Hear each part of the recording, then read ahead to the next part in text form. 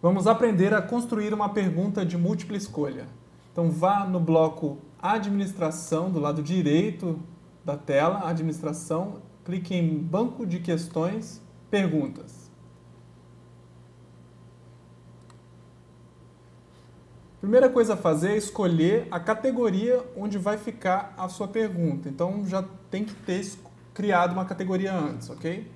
Vamos em tema 1 já tem uma pergunta aqui e a gente vai no botão criar uma nova questão, selecionar múltipla escolha, adicionar.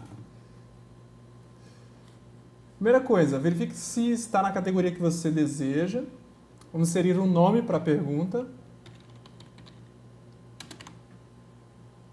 O enunciado da questão.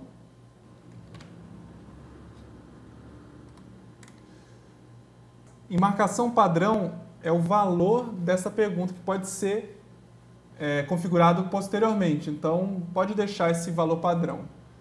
Aqui feedback geral é mostrado um texto após ele ter completado a tentativa dele de responder essa questão. Você pode escolher entre apenas uma resposta certa ou múltiplas respostas permitidas. A gente vai escolher apenas uma.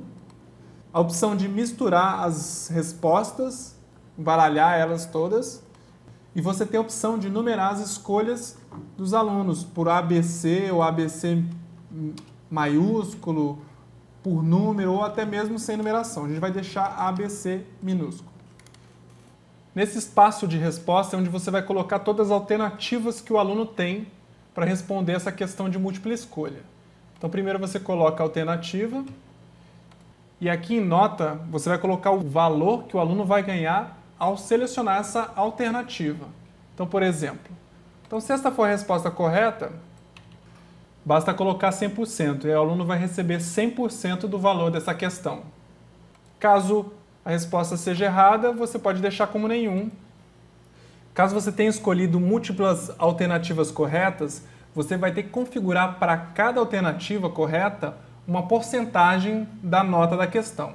Então, por exemplo, se você tem três alternativas que vão ser corretas de 5, essas três alternativas corretas você vai ter que dar o valor de 33,33%. ,33%. Isso significa que o aluno que escolher essa opção vai receber 33% do valor da questão. Se ele acertar as três questões corretas, ele vai receber o valor de 100%. E aí você configura da forma como você quiser, ok?